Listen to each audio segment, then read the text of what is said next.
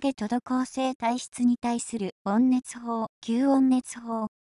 吸温熱法のセット図。眠っても良いような布団、マットレスの上で行ってください。最初はうつ伏せになり、腰部に球体を3枚並べて横向きに乗せる。二つ折りのタオルまたは数枚重ねたさらしで上を覆う。間に厚手のビニールを入れて匂いがつかないようにしてもよい。温熱ヒーターマット、小をその上から乗せる。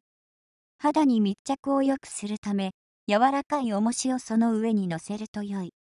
季節に応じて寒くならないように毛布、タオルケットをかける。腹部もへそを中心に同様に行う。吸温熱法の場合は注意事項がたくさんあるので、次の説明を必ず読んでください。喘息や心臓病などで呼吸不全になりやすい人は使用しないこと。普段、汗が出ない人、人と構成になっている場合が考えられるには使用を避けるべきです。このような人は、最初、気持ちが良いようにも思うが、次第に抵抗を感じるようになる。中滞性体質もこのように、40分前後に抵抗感が出ることが多い。30分過ぎても心地よさがない場合は、体質が合っていない証拠ですから、再度体質判定を行ってください。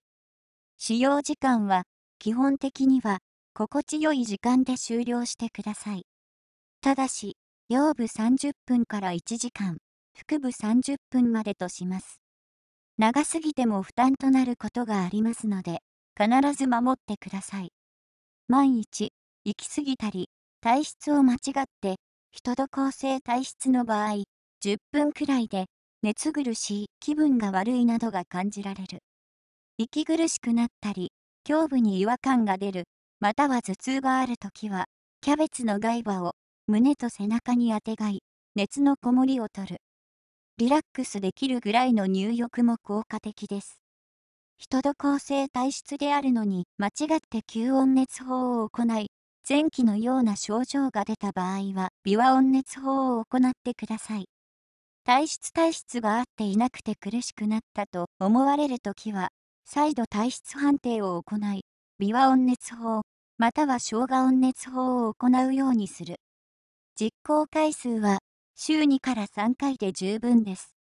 以上を要約すると、一もともと影滞性体質は虚弱であるがゆえに、行き過ぎも、かえって負担になりやすいので、ほどほどで終了すること。二中滞性体質の方も、冷えの症状があるため、最初は気持ちよいようにも思えるが、次第に抵抗を感じる。三人滞性体質の方は、体内が熱性化しているところに、吸温熱法をすると、さらに熱がこもる結果になるので、微和温熱法への切り替えが必要です。現実的には、中滞性体質が、人滞性体質との合併症が多いように、影滞性体質も人滞性も強く持ち合わせているのに、現在は影滞性が勝っているという場合があります。そのような時は、思考的なものや体型、皮膚の色や状態はまちまちになります。行き過ぎた治療や健康法、または陰性食品、陰性健康食品の変色などで、もともとは人と構成であったのに、体質変化を起こして影滞性になっている場合は、影滞性体質の特徴の諸項目と違った感覚を持っている方もいます。また、元気がないから疲れやすいからという理由だけで、私は影滞